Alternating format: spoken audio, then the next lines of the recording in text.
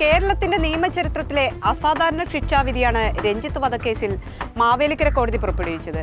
B J P നേതാവിനെ വധിച്ച കേസിലെ പതിനഞ്ച് പ്രതികൾക്കും മാവേലിക്കര അഡീഷണൽ സെഷൻസ് കോടതി വധശിക്ഷ വിധിച്ചു.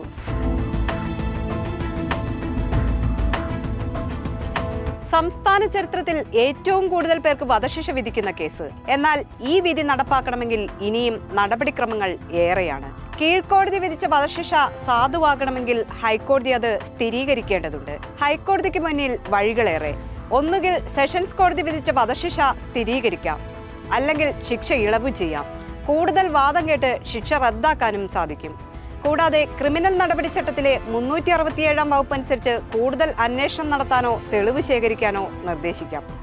അതായത് പ്രതികൾ അപ്പീൽ നൽകാതെ തന്നെ ഹൈക്കോടതി കീഴ്ക്കോടതി വിധി ശരിയാണോ എന്ന് പരിശോധിക്കും. അതിനുശേഷമായിരിക്കും ശിക്ഷ എന്ത് എന്നത് സംബന്ധിച്ച് തീരുമാനമാകുക.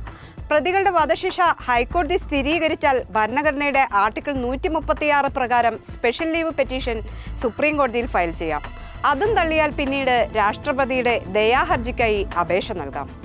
രാഷ്ട്രീയ കൊലപാതക കേസുകളിൽ അപൂർവമായിട്ടാണ് വധശിക്ഷകൾ കോടതികൾ വിധിക്കാറുള്ളത്.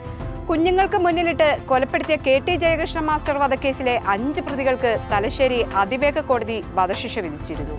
പിന്നീട് സുപ്രീം കോടതി ശിക്ഷ ജീവപര്യന്തമാക്കി കുറച്ചു. വിചാരണ നേരിട്ട മുഴുവൻ പ്രതികളെയും ശിക്ഷിച്ച രാജ്യം ചർച്ച ചെയ്ത പ്രധാനപ്പെട്ട ഒരു കേസ് രാജീവ് ഗാന്ധി വധക്കേസായിരുന്നു. ഈ കേസിലും ഇരുപത്തിയാറ് പേരെ ശിക്ഷിച്ചതിൽ നാല് പ്രതികൾക്കൊഴികെ സുപ്രീം കോടതി ശിക്ഷാ ഇളവ് നൽകി. നിലവിൽ കേരളത്തിലെ വിവിധ ജയിലുകളിലായി വധശിക്ഷ കാത്തു കഴിയുന്നത് ഇരുപത്തിരണ്ട് പേരാണ്. ഈ അടുത്ത് വധശിക്ഷയ്ക്ക് വിധിച്ചത് ആലുവയിലെ അഞ്ചു വയസ്സുകാരിയെ കൊലപ്പെടുത്തിയ അസ്ഫാക്കിനെയാണ്.